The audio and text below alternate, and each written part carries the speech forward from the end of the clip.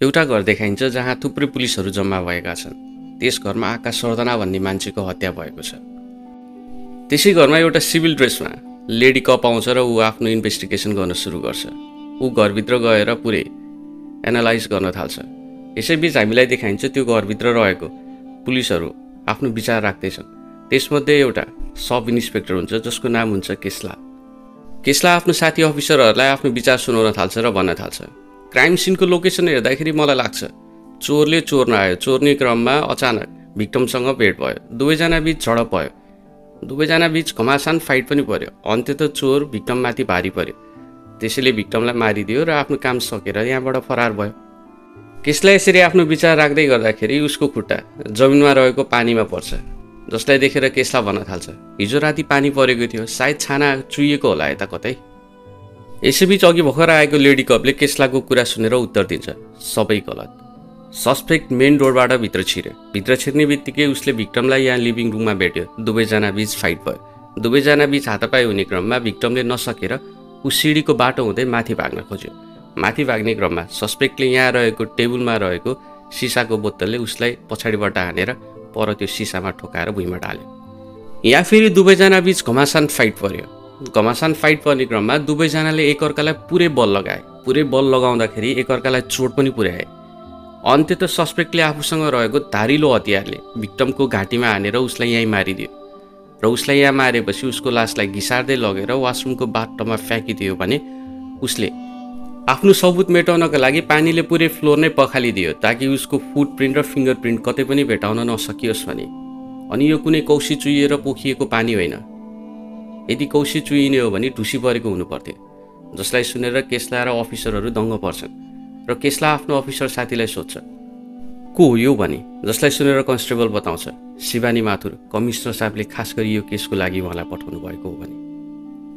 शिवानी अब पुरै घरभित्र बाहिर हेर्न थाल्छ र उसले घर बाहिर गार्डनमा एउटा फुटप्रिन्ट भेटाउँछ र जसलाई हेर्दै शिवानी भन्न थाल्छ सस्पेक्ट मेन रोडबाट इन्ट्री गर्छ र भाग्दाखेरि उसले यो बाटो अप्नाउँछ। आखिर किन त? यति भन्दै वरिपरि हेर्ने क्रममा शिवानी यो पनि बताउँछ। सस्पेक्ट निकै चालाक र खतरनाक छ जसलाई फरेन्सिक नलेज पनि छ त्यसैले कुनै पनि सबुत छोडेको छैन। र यो कुनै अचानक भएको घटना पनि होइन यो वेल प्लान मर्डर हो जसले गर्दाखेरि सबुत भेटाउन गाह्रो छ। यत्तिकैमा पछाडिबाट एउटा अफिसर आउँछ र भन्न थाल्छ। अहिलेसम्म त्यस्तो क्रिमिनल बनेको छैन जसले कुनै पनि सबुत नछोडोस्। अँ बरु पुलिसहरू बनेका छन् जसले सबुत भेटाउन सकेका छैनन्। खासमा यो अफिसरले। आफ्नो अफिसर र शिवानीलाई होच्याउँदै भनेको। किनकि शिवानीलाई माथि कमिसनरले नै पठाएको जुन यो एसपी अफिसरलाई मन परेको छैन। एसपी धिरेनले लासलाई उल्टा पल्टा हेर्छ र केही बेरपछि त्यहाँबाट फर्कने क्रममा शिवानी फेरि भन्न थाल्छ सर यो कुनै रेगुलर चक्कु या छुरीले गरिएको हत्या होइन। हत्याराले एउटा नोखिलो र धारिलो वस्तुको युज गरेको छ हत्या गर्नको लागि। जुन फोरेन्सिकको रिपोर्ट आएपछि मात्र थाहा हुन्छ कि कुन हतियार हो भनेर। र मलाई लाग्छ जहाँसम्म हतियाराले यो पर्सनल रन्जिस निकालेको हुनुपर्छ जसलाई सुनेर एसिपी धिरेन भन्न थाल्छ।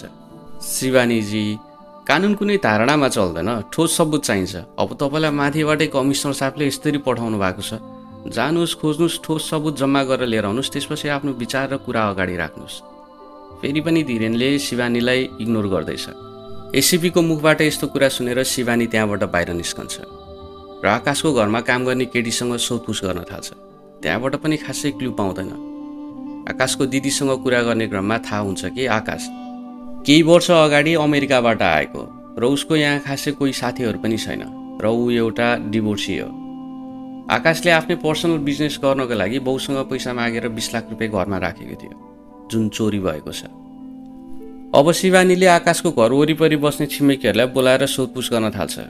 सोधपुछ गर्ने क्रममा त्यस रात घटना घट्दाखेरि तपाईँहरूले केही आवाज सुन्नुभयो त्यस्तो केही नोटिस गर्नुभयो यस्तै कुराहरू सोध्न थाल्छ। जसको कुनै पनि ठोस सबुत ती छिमेकीहरूबाट हात पार्न सक्दैन। यसैबिच एउटा बाउ छोरा आउँछ र बाउले छोरालाई गाली गर्दै तँलाई के थाहा छ म्यामलाई भन भन्न थाल्छ।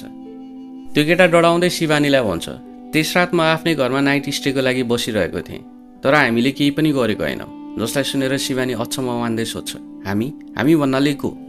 आकाशको बिल्डिङ नम्बर बाइस थियो भने त्यो केटा बसेको घरको बिल्डिङ नम्बर थियो एक्काइस। त्यो केटा डढाउँदै भन्न थाल्छ।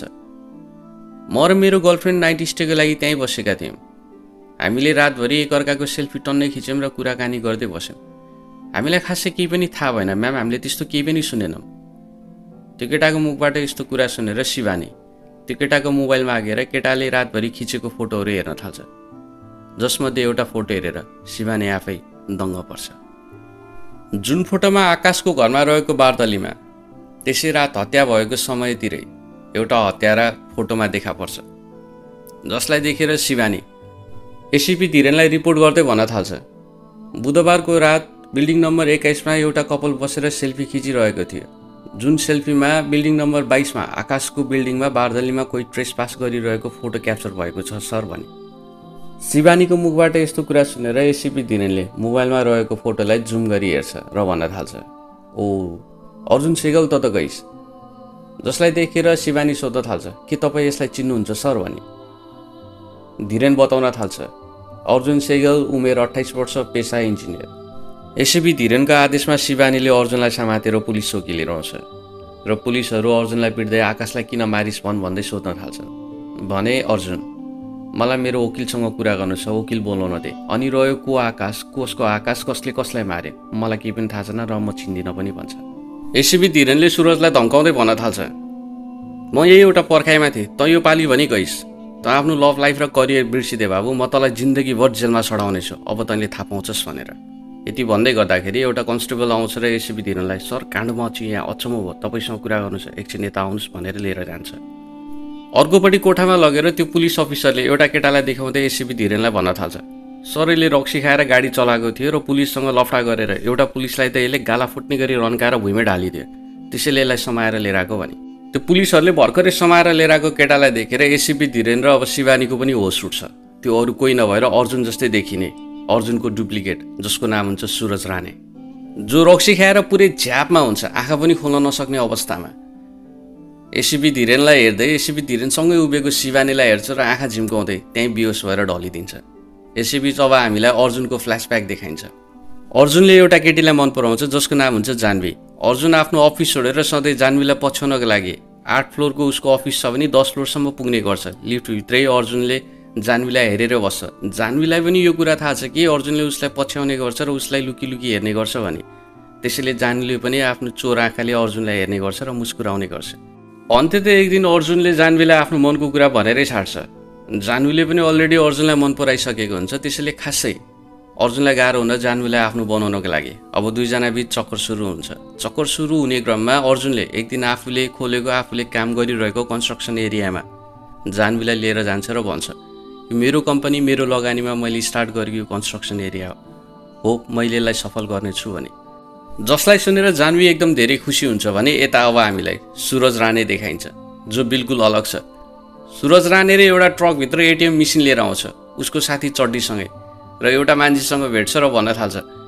यो एटिएम मेसिन खोल्ने मान्छे कोही चिनेको छ भने भन खोलेपछि पैसा आधा आधा गरौँला भने। त्यो मान्छे एउटा सामान्य मान्छे नभएर दुई नम्बरी धन्दा गर्ने माफिया नै हुन्छ जसले सुरजको कुरा विश्वास गर्दैन। तैँले एटिएम मेसिन लिएर आइस त म पत्याउँछु बच्चाहरूले भनेर। त्यसैबिच सुरजले पनि एउटा मोबाइलमा न्युज देखाउँदै भन्न थाल्छ। न्युज हेर्ने गरेको छैन हेर न्युजमा एटिएम मेसिन दिनदारै चोरी भनेर भनिरहेको छ। जसलाई सुनेर त्यो मान्छेले सुरजलाई ठग्नको लागि केही पैसा दिन्छ र एटिएम खोलेपछि पैसा बराबर गरौँला जा भन्छ। जसलाई सुनेर सुरज सुरुमा त मान्दैन तर अन्त्य त त्यो मान्छेले धम्काइ थर्काइ गरेपछि सुरजले त्यो मान्छेले दिएको पैसा लिएर त्यहाँबाट निस्कन्छ। भनिन्छ नि बाँदर बढी बाटो भयो भने के हुन्छ भनेर। सेम त्यस्तै हुन्छ। त्यो माफिया मान्छेले अब सुरजलाई थाहै नदिकन एटिएम मेसिन खोलेर मक्ख हुँदै पैसा सब मेरो हुने भयो। बच्चाहरू आज फस्यो भन्दै एटिएम मेसिन खोल्न लाउँछ। केही बेरपछि खोलेपछि त्यो मान्छे आफै दङ्ग पर्छ। किनकि त्यो एटिएम मेसिन डमी हुन्छ। त्यहाँनिर डुप्लिकेट पैसा हुन्छ। जसलाई देखेर त्यो मान्छेले सुरजलाई फोन गरेर रिसाउँदै भन्न थाल्छ तैँले मलाई ठग्ने भने? सुरजले पनि त्यो मान्छेलाई जिस्काउँदै भन्न थाल्छ कागबडी बाटो भयो भने के हुन्छ? थाहा होला नि भन्दै। किनकि सुरजले देखाएको त्यो न्युज झुटो थियो जसमा त्यो माफिया उल्टो सुरजको जालमा फसेको थियो। सुरज एउटा ट्वाके मात्र नभएर जोवाडे पनि हुन्छ केटीबाज पनि हुन्छ। सुरज र चड्डी मिलेर त्यो मान्छेसँग ठगेको पैसा सबै मोज मस्ती गरेर उडाइसक्छन्। र एक दिन चड्डीसँग चड्डीको पसल बाहिर बसेर रक्सी पिइरहँदा सुरजले थाहा पाउँछ कि चड्डी पनि एउटा ठग हुन्छ। चड्डीको पसल सिलबन्दी भएको छ। चड्डीले ठग्ने क्रममा एउटा मान्छेलाई ठग्छ जो मान्छेले चड्डीलाई कोर्टसम्म पुर्याएको हुन्छ। यता अर्जुन र जान्वीको चक्कर चलिरहेको हुन्छ। एक दिन अर्जुनले जान्वीलाई आफ्नो कन्स्ट्रक्सन एरियामा लिएर जान्छ र भन्न थाल्छ यो मेरो कम्पनीले स्टार्ट गरेको बिजनेस हो मेरो लगानीमा। मैले मार्केटबाट धेरै पैसा उठाएको छु। होप यो मेरो सपना पुरा हुनेछ पैसा फस्ने छैन जसलाई सुनेर जान्वी एकदम धेरै खुसी हुन्छ र भन्न थाल्छ अर्जुन तिमीले आफ्नो सपना सुरु गरिसकेको छौ। यहाँ कति मान्छेहरू आफ्नो सपनाको बारे सोचेर पनि डराउँछन्। अनि रह्यो कुरा यदि कुनै कुराको रिजल्ट पहिला नै थाहा हुन्छ भने त्यो कुरा गर्नमा किनै मजा आउँछ र? इक्जाम्पलको लागि हेर त यदि म तिमीसँग पट्टिन्छु भने तिमीलाई पहिले नै थाहा भएको भए के तिमी मलाई पछ्याउँदै आफ्नो फ्लोर छोडेर दस फ्लोरसम्म लिफ्टमा चढेर मलाई हेर्ने गर्थ्यौ? यहाँ एकअर्का बिच दुःख सुखको कुरा हुन्छ। दुःख सुखको कुरा हुने क्रममा जान्वीले आफ्नो आमा दुबईमा बस्ने कुरा पनि अर्जुनलाई बताउँछ। यता सुरजले चड्डीको केस फाइलहरू पढ्न थाल्छ। र एक दिन चड्डी आफ्नो केसको सिलसिलामा अदालत जाने क्रममा सुरजले चड्डीलाई केस गर्ने मान्छेसँग उल्टा सिधा कुरा गरेर त्यहाँबाट उनीहरूलाई भगाइदिन्छ भने सुरज र चड्डी अब एकदम धेरै खुसी हुन्छ। चड्डी सुरजले त्यो मान्छेलाई भगाएर आफ्नो पसल खोलिदिएको र ऊ अब जेल जान नपरेकोमा एकदम धेरै खुसी हुन्छ भने यसैबिच सुरज र चड्डी मिलेर जो मान्छेलाई डमी एटिएम मेसिन दिएर ठगेका थिए त्यो मान्छे आए। सुरज र चड्डीलाई उठाउँछ। र सुरजलाई धम्की दिँदै भन्छ यदि तैँले मलाई पैसा टाइममा दिनुहोस् भने तेरो साथी चड्डीको हरेक अङ्ग म बजारमा लगेर बेचिदिनेछु। ब्ल्याक मार्केटमा यसको टन्नै पैसा आउँछ भन्न थाल्छ। जसलाई देखेर सुरजले म तँलाई बिस लाख होइन पच्चिस लाख दिन्छु मेरो साथीलाई छोडिदिए भन्छ भने। सुरजको कुरा सुनेर त्यो मान्छेले दुवैजनालाई छोडिदिन्छ। अब सुरज टेन्सनमा आउँछ त्यसैले उनीहरूसँग भएको पैसा लिएर फेरि एकचोटि जुवा खेल्न थाल्छ। तर उसको ब्याड लक जुवामा भएको पैसा पनि हार्छ। सुरज यसरी जुवामा हारेको कुरा त्यो मान्छेलाई थाहा हुन्छ। फेरि त्यसले एकचोटि सुरजको साथी चड्डीलाई उठाउँछ र सुरजलाई फोन गर्दै भन्छ तैँले भएको पैसा पनि हारिस्। यदि तैँले समयमा पैसा दिनस् भने तेरो साथी चड्डीलाई म ब्ल्याक मार्केटमा यसको अङ्गहरू काटेर बेचिदिनेछु जति सक्दो छिटो पैसा तिर भन्छ भने यता अब हामीलाई अर्जुन देखाइन्छ। अर्जुन र जान मस्त छन्। यसैबिच जान्वी बताउँछ कि अब ऊ दुबई जाँदैछ आफ्नो आमालाई भेट्नको लागि। र अर्जुनलाई तिमी पनि सँगै गए झन् राम्रो हुने थियो भन्छ। तर अर्जुन आफ्नो काम भएको कारण ऊ जान नसक्ने कुरा बताउँछ। केही बेरमा हामीलाई देखाइन्छ जान्वी एयरपोर्टमा पुगेको हुन्छ। र बाटो हेरिरहेको हुन्छ अर्जुन आउने। तर त्यहाँ अर्जुन आउँदैन। अर्जुन आफ्नो घरमा केही कुरा खोजिरहेको हुन्छ। केही बेरपछि अर्जुन पनि एयरपोर्टमा पुग्छ। जसलाई देखेर जान्वी एकदम धेरै खुसी हुन्छ। अर्जुन जान्वीलाई भन्छ म तिमीसँग दुबई जानको लागि आएको होइन। बस तिमीलाई बाई गर्नलाई मात्र आएको हुँ भने। जसलाई सुनेर जान्वी हल्का निराश हुन्छ भने अर्जुनले जान्वीलाई एयरपोर्टमा नै बिहेको लागि प्रपोज गर्छ जसलाई सुनेर जान्वी एकदम धेरै खुसी हुन्छ। अब हामीलाई यता सुरज देखाइन्छ जो एकदम धेरै टेन्सनमा हुन्छ। उसलाई जति सक्दो छिटो पैसा खोज्नु छ पैसा मिलाउनु छ। उसले आफ्नो साथीहरूलाई पनि फोन गर्छ तर कतैबाट उसले पैसा जुटाउन सक्दैन। त्यसैले ऊ एकदम धेरै आवेशमा र टेन्सनमा भएको देखाइन्छ भने यता अर्जुनलाई उसको साथीहरूले पार्टी दिन्छ। अर्जुनको काम सफल भएकोमा। अर्जुन पार्टीमा बसिरहँदा अचानक बिच पार्टीबाट बाहिर निस्कन्छ र आफ्नो साथीलाई भोलि मेरो काम छ ल्यान्ड रजिस्ट्रेसनको लागि पनि जानु छ म भ्याउँदिनँ भनेर पार्टीबाट निस्कन्छ र हामीलाई देखाइन्छ। अर्जुन पार्किङ लटमा पुग्छ र आफ्नो गाडीमा बसेर केही सोच्न थाल्छ र केही बेरपछि त्यहाँबाट गाडी निकालेर एउटा अँध्यारो टनलमा गाडी रोक्छ र उसले लुगाहरू चेन्ज गर्न थाल्छ र केही बेरपछि आकाशको घरमा ऊ पुग्छ र आकाशलाई मारिदिन्छ। आकाशलाई मारिसकेपछि अर्जुनले आफूले लगाएको लुगा आगो लगाई जलाइदिन्छ र आफ्नो घरमा आएर घाउलाई सफा गर्दै नुहाउन थाल्छ र केही सोच्न थाल्छ भने यसैबिच पुलिस चौकीभित्र एसिबी धीरेन्द्र शिवानी सुरजलाई देखेर दङ्ग परिरहेका हुन्छन् र स्क्रिनमा ठुलो अक्षरले लेखेर प्रेजेन्ट डे भनी देखाइन्छ। एसिबी धीरेन अब चौकीबाट बाहिर निस्केर आफ्नो साथी वकिललाई फोन गरेर जति सक्दो छिटो पुलिस स्टेसन आउनको लागि भन्छ भने यता शिवानी पनि सुरजलाई सोधपुछ गर्नको लागि होसमा लिएर आउनको लागि एक बाल्टिन पानी खनाउँदै सोध्न थाल्छ आकाशको हत्या भएको रात त कहाँ थिइस् भने? सुरज शिवानीलाई घुरेर हेर्न थाल्छ शिवानीको फिगरलाई ध्यान दिन थाल्छ मौकामीले शिवानीलाई छुन पनि खोज्छ जसलाई देखेर पुलिसहरूले सुरजलाई पिट्न थाल्छ। सुरज यसरी पुलिसहरूले पिटेको देखेर पुलिसको लौरोसम्म आउँदै उनीहरूलाई कानुन सिकाउन थाल्छ सुरज भन्न थाल्छ यसरी बिना कारण जेलभित्र ल्याएर कसैलाई पिट्नु? कानुनले दिँदैन उस्तै ताल परे तिमीहरूको जागिर समेत खुस्किने कुरा बताउँछ। भने यता हामीलाई देखाइन्छ एसिपी धीरेनको साथी वकिल चौकीमा आएको छ। एसिपी धीरेन भन्न थाल्छ। म आठ वर्षदेखि यही मौकामा थिएँ। बल्ल अर्जुन मेरो हातमा फेला परेको छ। म रिटायर हुन अब दुई महिना मात्र बाँकी छ। यो दुई महिना हुनु अगाडि मलाई जसरी भए पनि अर्जुनको केस फाइल दर्ता गरिवरी अर्जुनलाई जेलमा चढाउनु छ। कुनै उपाय दिए भने। र एसिपी धिरेनले अर्को प्रब्लम पनि सुनाउँछ। यहाँ हत्या एकजनाको भएको छ भने सन्दिग्ध दुईजना देखिन्छ जसको एउटै अनुहार छ भने। वकिलले अर्जुन र सुरजलाई देखेर वकिल पनि दङ्ग पर्छ। र एसिबी धिरेनलाई सिकाउन थाल्छ। भोलि शनिबार पर्सि आइतबार। त्यसैले मैले भनेको मान्छेस् भने अर्जुनलाई समातेको रेकर्ड फाइल नै दर्ता नगर जसले गर्दाखेरि अर्जुनलाई यहाँ जेलभित्र राख्न सकिन्छ र यो दुई दिनभित्र जसरी भयो भने तिमीहरूले ठोस सबुत लिएर आउनु जसले अर्जुनलाई दोषी साबित गरोस् भन्न थाल्छ। आफ्नो साथीको यस्तो कुरा सुनेर अफिसर धिरेनले अब पुलिस अफिसरहरूलाई अर्डर दिन्छ जति सक्दो छिटो। अर्जुनको बारे सबुत एकट्ठा गर भने। यसैबिच शिवानी पनि अर्जुनलाई सोध्न थाल्छ र लुगा खोल्न लगाउँछ। अर्जुनले लुगा खोल्दाखेरि अर्जुनको हातमा पाखुरामा चोट देख्छ जसलाई देखेर शिवानी सोध्न थाल्छ यो चोट कसरी लाग्यो भने? अर्जुन बताउँछ कन्स्ट्रक्सन एरियामा काम गर्ने हो। सामान्य यस्तो चोटपटक त लागि नै रहन्छ फरक पर्दैन भने। शिवानी फेरि सुरजलाई सोधपुछ गर्ने क्रममा लुगा खोल भन्छ। सुरज शिवानीलाई देखेर साइड हान्दै प्यान्ट खोल्न खोज्छ जसलाई देखेर पुलिसहरूले सुरजलाई पिट्छ। सुरजलाई सर्ट खोल्न लगाउँछ सुरजको पाखुरामा पनि त्यस्तै घाउ हुन्छ जसलाई देखेर शिवानी सोध्छ यो घाउ कसरी लाग्यो भने? सुरज बताउँछ रक्सी पिएको थिएँ झ्याप भएको थिएँ बाइक चलाउँदाखेरि बाइकबाट लडेँ भने। अब हामीलाई केही समयपछि फोरेन्सिकबाट शिवानीलाई फोन आएको देखाइन्छ। फोरेन्सिक बताउँछ अर्जुनको फोरेन्सिक टेस्ट आधा काम सकिसक्यो अब केही अलिकति मात्र बाँकी भएको भने। जसलाई सुनेर शिवानी भन्छ के पागल कुरा गरेको? दुईजनाको स्याम्पल पिस पठाएको छ भनी भन्छ। जसलाई सुनेर फोरेन्सिकले एउटा मात्र पाएको कुरा बताउँछ भने यतापट्टि एउटा बुढो देखाउँछ पुलिस अफिसर जो एकदमै ठर्की छ हरपल केटीसँग फोनमा बिजी भएर बसिरहन्छ भिडियो कलमा। जसलाई देखेर शिवानी कराउँदै फेरि सुरजको पनि स्याम्पल पिस पठाउँछ। यो बुढालाई मैले किन हाइलाइट गरेको भन्दाखेरि तपाईँले थाहा पाउनुहुन्छ यो बुढाको ठुलो रोल छ यो मुभीमा है त? अब यिनीहरूले कुकुर पनि युज गर्छन्। कुकुरले अर्जुन र सुरज दुवैलाई देखेर भुक्न थाल्छ। जसलाई देखेर पुलिस अफिसर भन्छ यो कुकुरलाई आफ्नो काम त गर्न आउँछ होइन भने? कुकुर लिएर आउने मान्छे बताउँछ। कि त दुवैजना सन्दिक हुनुपर्छ कि तिमीहरूले जम्मा गरेको सबुतमा कसैले छेडखानी गरेको हुनुपर्छ भने? अब यता देखाइन्छ शिवानी अर्जुनको फोटो लिएर। आकाशको छिमेकीहरूलाई सोध्न थाल्छ यो मान्छेलाई कहिले देखेको थियो भने। साथै आकाशको दिदी भिनाजुलाई पनि सोध्न थाल्छ तर कतैबाट पनि लिड मिल्दैन। शिवानी अब फेरि सुरजले बयान दिएको अनुसार सुरजको साथी चड्डीलाई भेट्छ र सोध्न थाल्छ तिमीहरू आकाशको हत्या भएको रात कहाँ थियो? खास गरेर सुरज कहाँ थियो? भनी सोध्छ। चड्डी बताउन थाल्छ उनीहरूको सेलिब्रेसन भएको कारण उनीहरू दुवैजना रातभरि रक्सी खाएर टल्ली भएर बसेको कुरा। शिवानी अब फेरि सुरज र अर्जुनको फोन लोकेसन पनि चेक गर्छ। फोन लोकेसन चेक गर्दाखेरि अर्जुन र आकाशको फोन लोकेसन एकअर्काको घरमा म्याच हुँदैन भने यता सुरजको फोन लोकेसन पनि अर्जुनको घरमा म्याच हुँदैन। तर अर्को कुरा थाहा पाइन्छ कि सुरजले युज गर्ने र चड्डीले युज गर्ने मोबाइल फोनको सिम उनीहरूको नाममा नभएर अरू कसैको नाममा भएको त्यो पनि एक हप्ता अगाडि मात्र उनीहरूले युज गरेको कुरा। एसिबी धिरेन पुलिस अफिसरहरूलाई गाली गर्न थाल्छ। तिमीहरूले अहिलेसम्म एउटा सबुत समेत जम्मा गर्न सकेनौ। खै कहाँ पुग्यो? फरेन्सिकको रिजल्ट कहाँ छ भने? शिवानी बताउँछ। केही समय लाग्छ भने। कारण त्यही ठर्की बुढा थियो। शिवानी यो पनि बताउँछ कि कारण मोटिभ चोरी पनि हुनसक्छ सर। किनकि आकाशको घरबाट बिस लाख चोरी भएको छ हराएको छ भने जसलाई सुनेर एसिबी धिरेन शिवानीलाई फेरि कराउन थाल्छ। केही बेरपछि एसिबी धिरेन फ्रस्ट्रेट हुन्छ र अर्जुनलाई पिट्न थाल्छ र भन्न थाल्छ भन् तैँले आकाशलाई किन मारिस्? आकाशको हत्या किन गरिस्? भने।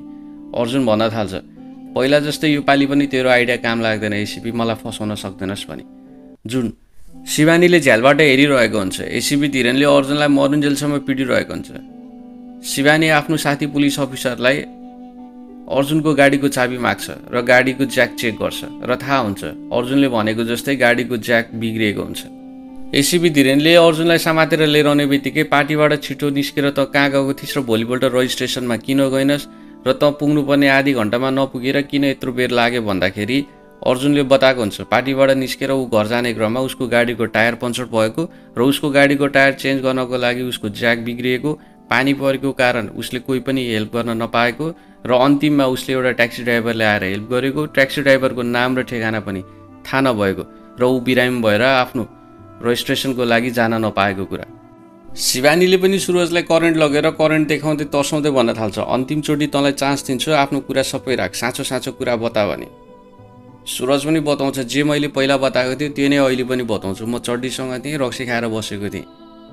अब हामीलाई देखाइन्छ उता एसिपी धिरेनले पिटेर अर्जुनलाई मुर्छा बनाएर राखेको हुन्छ भने यता शिवानीले पनि सुरजलाई करेन्ट दिएर मुर्छा बनाइराखेको हुन्छ। अब यता देखाइन्छ एसिबी धिरेन आफ्नो अफिसर केसलासँग प्राइभेटमा केही कुरा गरिरहेको हुन्छ जसलाई शिवानीले पनि नोटिस गरिरहेको हुन्छ।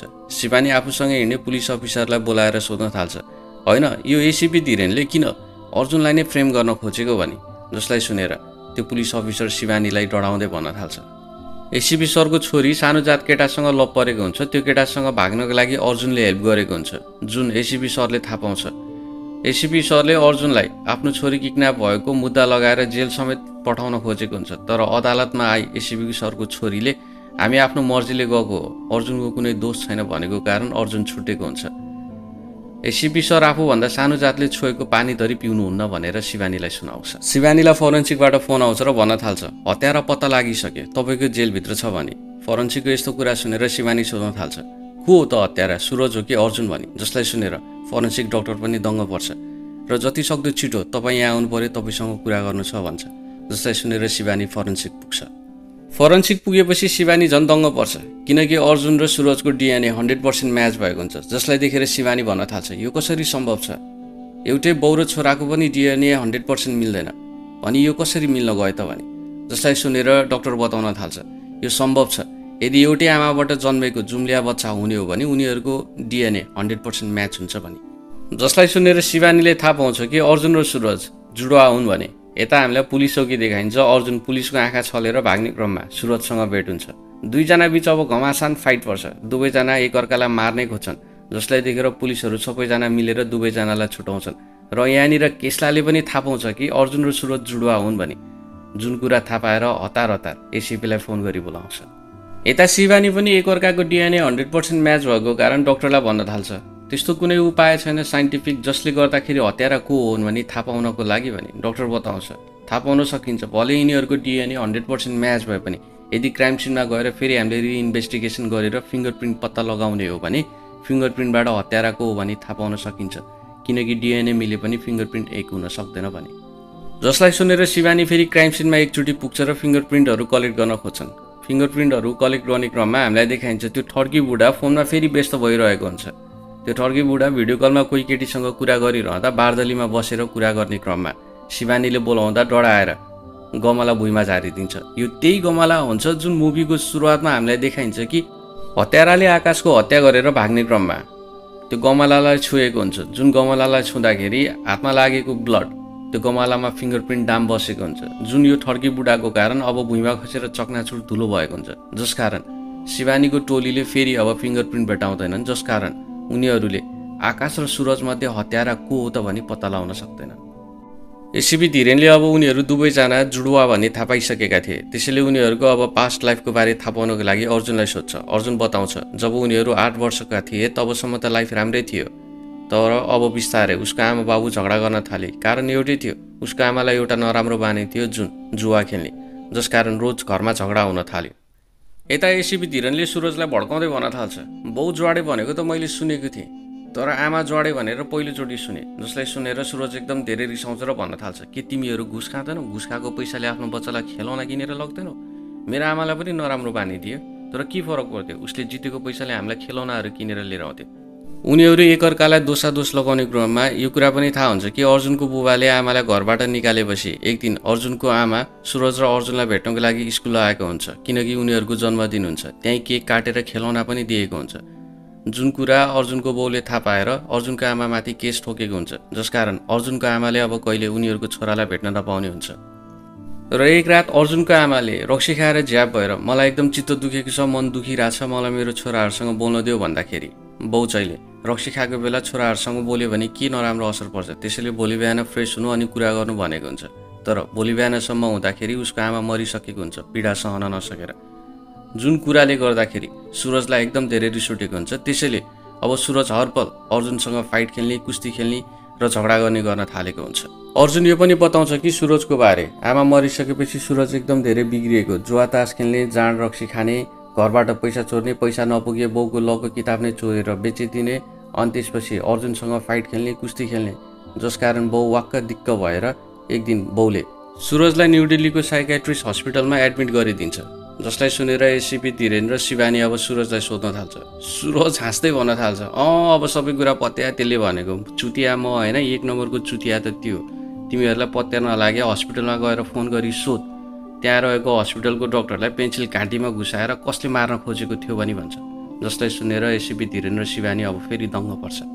शिवानीले हस्पिटलमा फोन गरी चेक गर्छ र थाहा पाउँछ। त्यो हस्पिटलमा एकजना नभई दुईजना एडमिट भएको हुन्छ अर्जुन र सुरज। र डक्टरलाई पनि थाहा हुन्न कि अर्जुन र सुरजमध्ये कुन चाहिँले चाहिँ डक्टरको घाँटीमा पेन्सिल घुसाएको थियो भने। जसलाई सुनेर शिवानी रिसाउँदै अब अर्जुनलाई सोध्न थाल्छ र भन्छ तैँले त सुरज मात्र एडमिट भएको भनेको थिइस् त पनि त एडमिट भएको रहेछस् भने। अर्जुन बताउन थाल्छ। एडमिट मैले म नभएको भनेको होइन। म पनि भएको तर कारण त्यसले गर्दाखेरि एङ्गर इस्यु त्यसलाई थियो। त्यसले गर्दाखेरि म पनि फसेको हुँ भनी भन्छ अर्जुनलाई सोधपुछ गर्ने क्रममा अर्जुन यो पनि बताउँछ। सुरजको यो हालत हुनुमा बाउले आफूलाई नै दोष लगाएको थियो जस कारण एक दिन बाउको पनि मृत्यु हुन्छ। बाउको मृत्यु भएपछि मेरो लाइफ राम्रै चलेको थियो। म सक्सेसफुल नै थिएँ। लभ लाइफ पनि राम्रै थियो। सुरज सधैँ मसँग कम्पिटिसन गर्न खोज्छ।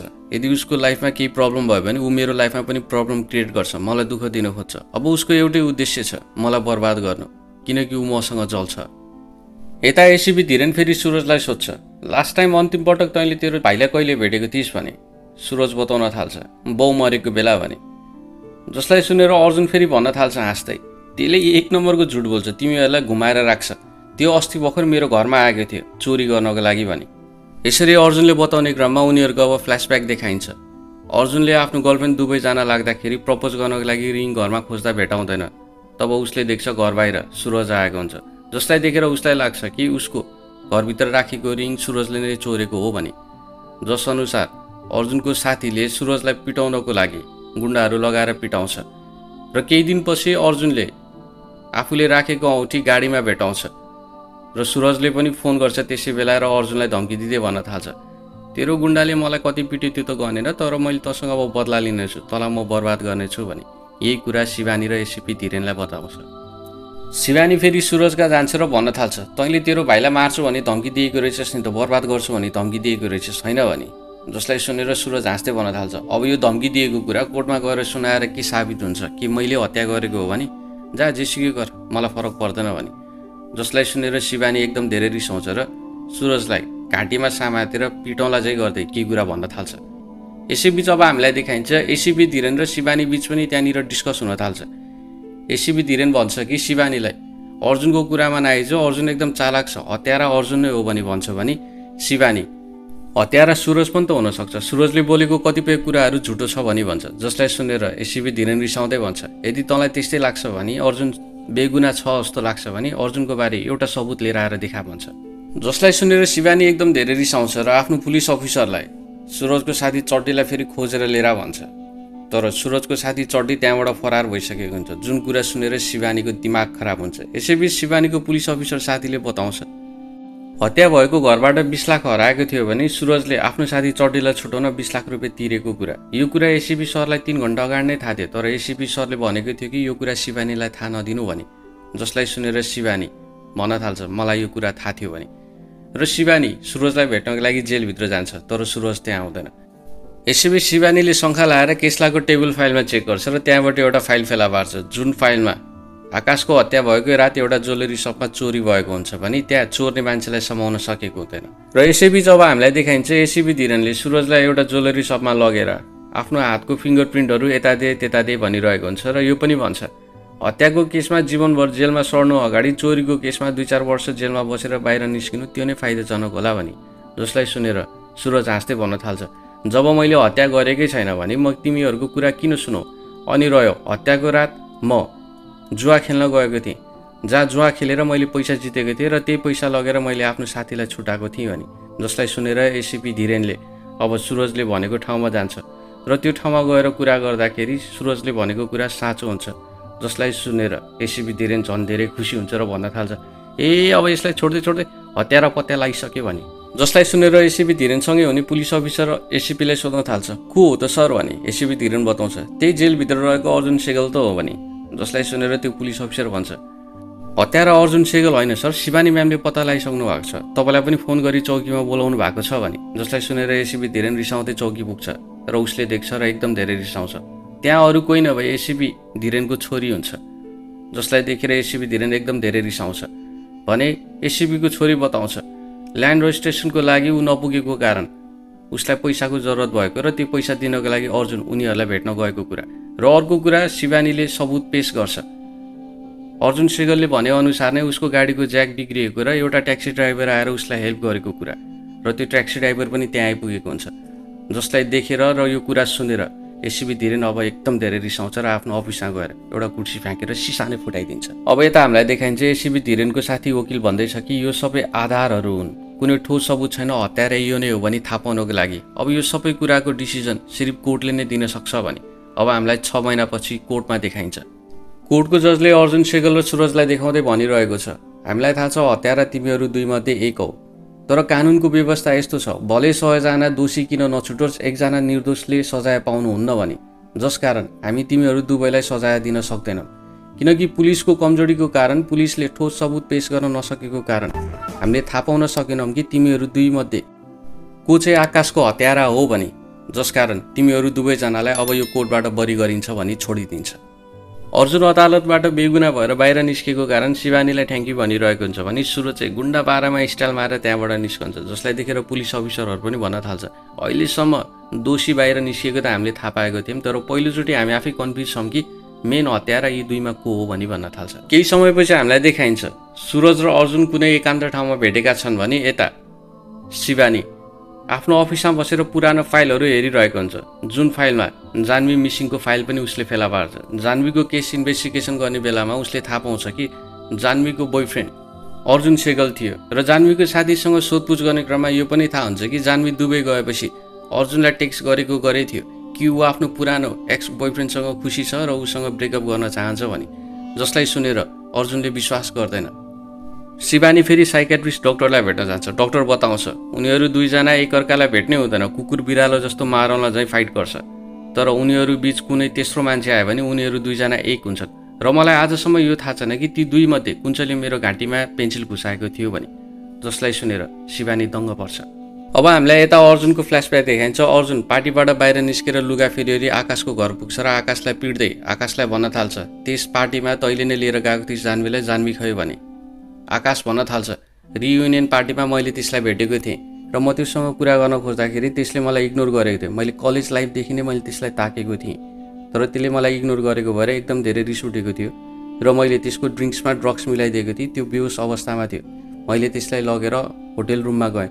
होटेल रुममा लगेर मैले आफ्नो चाहेको पुरै इच्छा पुरा गरेँ र त्यसलाई मैले यति धेरै डोज दिएँ तर पनि त्यसले बेहोसी अवस्थामा धेरै कोसिस गरेको थियो मबाट बस्न र त्यसलाई लाग्थ्यो कि तँ आएर बचाउँछस् भने।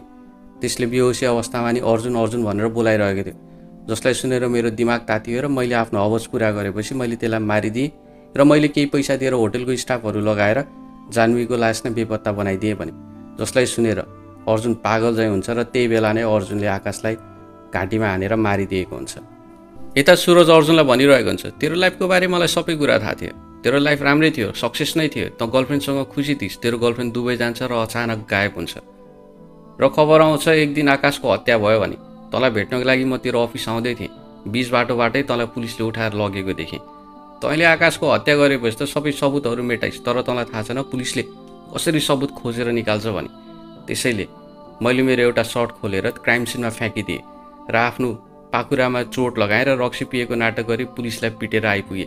किनकि मलाई थाहा थियो एसिबी धिरेन तेरो पुरानो दुश्मन हो भने र मलाई त्यही पुलिस चौकीमा लिएर आइयो। र मैले एसिबी धिरेनलाई साइड लगाउँदै शिवानीलाई टार्गेट गरेँ। शिवानीलाई यति म्यानुपुलेट गरेँ कि शिवानीलाई लागोस् कि मैले नै आकाशको हत्या गरेको हुँ भने एकमाथि एक स्टोरीहरू सुनाउँदै गएँ। र यसैबिच हामीलाई अब पुलिस चौकीको फ्ल्यासब्याक देखाइन्छ जहाँ अर्जुन र सुरज एकअर्कालाई मारला चाहिँ पिटापिट गरेको बेला सुरजले अर्जुनको कानमा भनेको हुन्छ सेम न्यू दिल्ली डक्टरको घाँटीमा पेन्सिल घोपेको फर्मुला भने। यता शिवानीले पनि थाहा पाइसकेको हुन्छ कि सुरजले उसलाई उलु बनाएको कुरा उसको दिमागसँग खेलेको कुरा। जसले गर्दाखेरि शिवानी अब फ्रस्ट्रेट भएको हुन्छ रुनु नहाँस्नु भएको हुन्छ भने यता अब हामीलाई देखाइन्छ। अर्जुन सुरजलाई भनिरहेको हुन्छ यदि शिवानीले थाहा पायो भने नि भने जसलाई सुनेर सुरज भन्न थाल्छ। अब शिवानीले चाहेर पनि केही गर्न सक्दैन। मलाई दोषी र तँलाई निर्दोष साबित गर्नको लागि शिवानीले एउटा झुटो सबुत पेस गरेको थियो त्यो ट्याक्सी ड्राइभर। अर्जुन सुरजलाई सोध्छ तैँले मलाई किन हेल्प गरिस् भने जसलाई सुनेर सुरज भन्न थाल्छ। तैँले भले आमालाई माया नगरे पनि मलाई जहाँसम्म लाग्छ आमाले मलाई भन्दा बढी माया तँलाई गर्थ्यो। र आमा सधैँ भन्ने गर्थे सधैँ तँलाई साथ दिनु भने। त्यसैले आमाको लागि मैले तँलाई साथ दिएँ। यो मेरो जीवनको अजुबा गेम थियो र यो नै मेरो अन्तिम हुनेछ। अब म आफ्नो बाटो लाग्छु। अब त के गर्छस् भने सुरजले फेरि अर्जुनलाई सोध्छ। अर्जुनले भन्छ जान्वी नै मेरो संसार थियो अब जान्वी नै नभएपछि यो सहर यो देशमा मेरो के काम? त्यसैले म धेरै टाढा जान्छु जहाँ कसैलाई पनि थाहा हुन्न कि म कहाँ छु भनेर। र जहाँसम्म लाग्छ यो नै तेरो र मेरो अन्तिम भेट हुनेछ। मैले मेरो घर तेरो नाममा गरिदिएको छु भन्दै एउटा खाम सुरजको हातमा थमाउँछ र गाडी लिएर त्यहाँबाट निस्कन्छ। सुरजले पनि त्यो खाम खोलेर हेर्छ। घरको कागज सँगसँगै एउटा सानो कागजको टुक्रा पनि हुन्छ जसमा उनीहरूको सानो बच्चा बेलाको फोटो हुन्छ जसलाई देखेर सुरज अर्जुनलाई हेरिरहन्छ। अर्जुनको गाडी अघि बढिरहेको हुन्छ र यसैबिच मुभी सकिन्छ